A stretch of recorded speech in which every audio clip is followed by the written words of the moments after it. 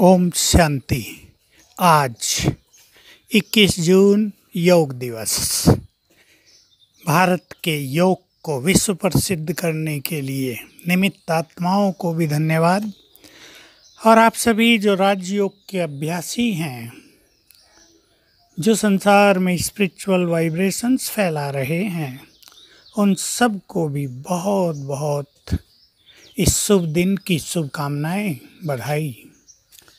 वो लोग फ़िज़िकल योगा करेंगे और वो भी ज़रूरी है आसन और प्राणायाम, जिससे अच्छा स्वास्थ्य रहता है और कई बीमारियों से हम बचे रहते हैं। विशेष रूप से अनुलोम विलोम से ब्रेन को ऑक्सीजन जाती है, बहुत बड़ी चीज़ है। और कपाल भाती से पेट के सभी अंग हेल्दी होते हैं।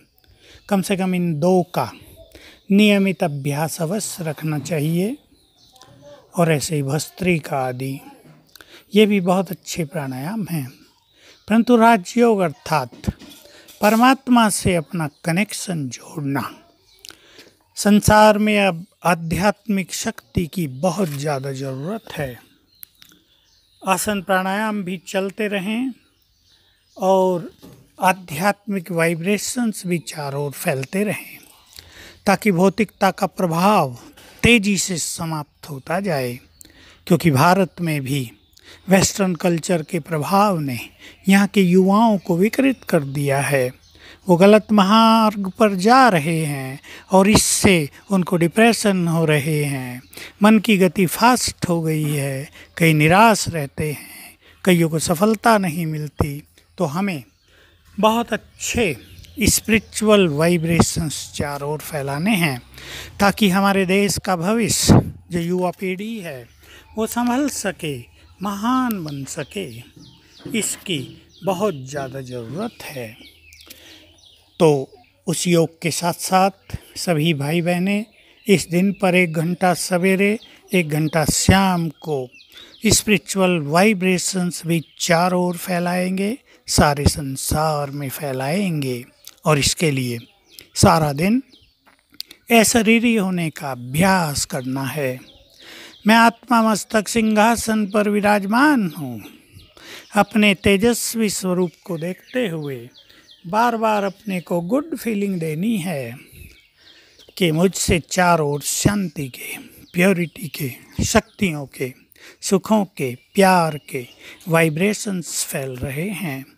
मैं आत्मा एक महान आत्मा हूँ। इस सृष्टि का श्रृंगार हूँ। मैं भ्रकुटी की कुटिया में विराजमान हूँ। मैं स्वराज्य अधिकारी हूँ। ये सब अभ्यास। बहुत अच्छा सारा दिन करते रहेंगे, कर्म में और चलते फिरते। और फिर अपना कनेक्शन जोड़ेंगे अपने सुप्रीम फादर से, जो हमारे परम पिता हैं, जो प्यार के सागर हैं। पहली गुड फीलिंग उनको देंगे कि वो हमारे हैं। हमारे। अपनापन उनसे फील करेंगे, बढ़ाएँगे इसको। वो मेरा है। जो भाग्य विधाता है, वो तो मेरा माता पिता है। जो सर्वशक्तिवान है, वो तो मेरा अपना है। जो प्यार का सागर है, उसका तो सारा ही प्यार मेरे लिए है। जो शांति का सागर है, उसकी संपूर्ण शांति मुझे अपने में समा लेनी है। और फिर उसके स्वरूप को परम धाम में देखते हुए, बहुत अच्छी, बहुत देर तक, कुछ ज़्यादा देर तक उसके स्वरूप पर मन बुद्धि को स्थिर करेंगे और फिर फील करेंगे उससे पावरफुल एनर्जी हम में समा रही है, हमको आ रही है और हमसे चारों ओर फैल रही है। इससे हमें अपनी मानसिक शांति भी बहुत प्राप्त होगी। हमारा मनोबल बहुत बढ़ेगा, सफलता हमारे आगे पीछे घूमेगी, निराशाओं के काले बादल छंट जाएँगे, हमसे सबको प्रेम भरी आत्मिक दृष्टि मिलेगी और इस संसार में एक सुंदर माहौल हम क्रिएट करने में सफल हो जाएँगे और वो है स्पिरिचुअलिटी आध्यात्मिकता।